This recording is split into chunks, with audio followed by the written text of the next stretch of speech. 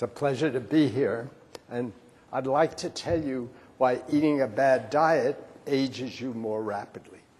And I think that applies to most of the world. So, this is your metabolism. So, to run your metabolism, what do you need? You need fuel, and so you eat carbohydrate and protein, and you burn it to get to make ATP. And that's uh, so you're pulling four electrons off your fuel, adding them to oxygen, you make water. And that's the process that generates kilos of ATP in your body every day. But you need something else. You need about 40 micronutrients. And these are substances you need to get in your diet to be coenzymes for all these different pathways. Well, about 30 vitamins and minerals, about 15 minerals, about 15 vitamins. And then you need some essential amino acids to make your protein, a couple of essential fatty acids. You don't get any one of these, you die. So the whole purpose of a balanced diet is to get all of them.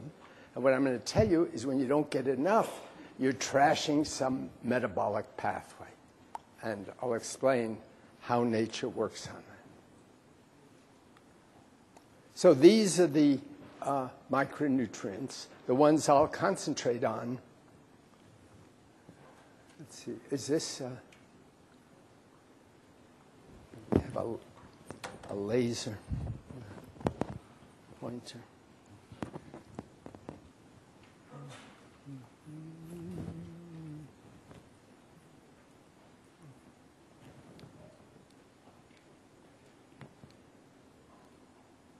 It's not very, anyway, the middle column is about, there are about 15 minerals and about 15 vitamins. And those are the ones I'm going to concentrate on.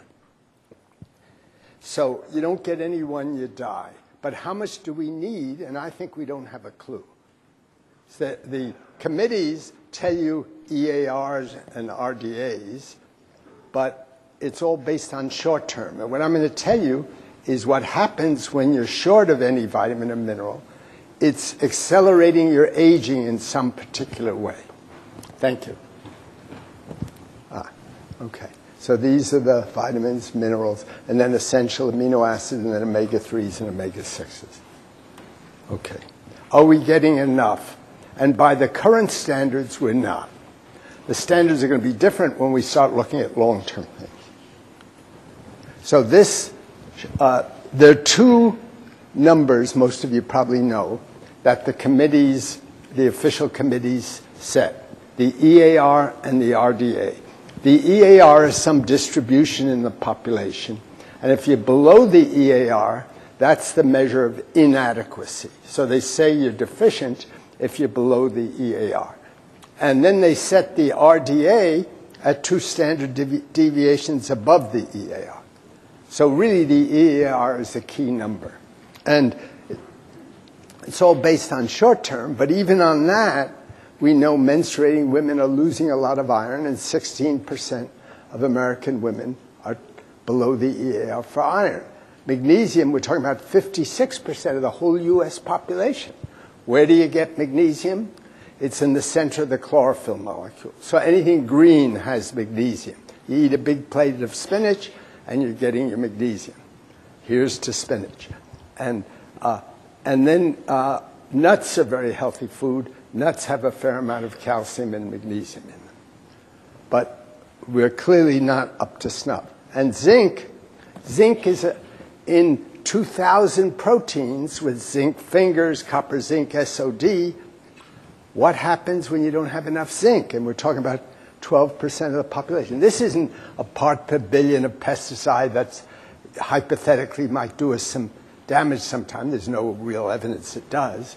But uh, this is, we're talking about some appreciable percent of the population.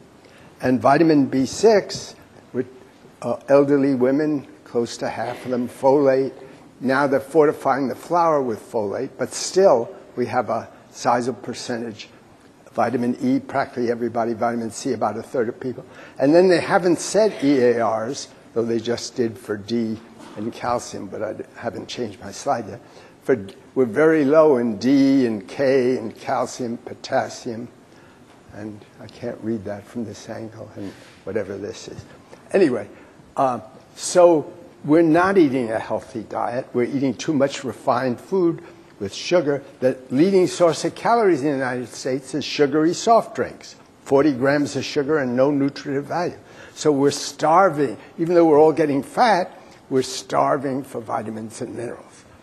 So what happens when you're low? And that's what I'm to, I've been working on, I'd like to tell you about. So these are some red blood cells and an occasional white cell.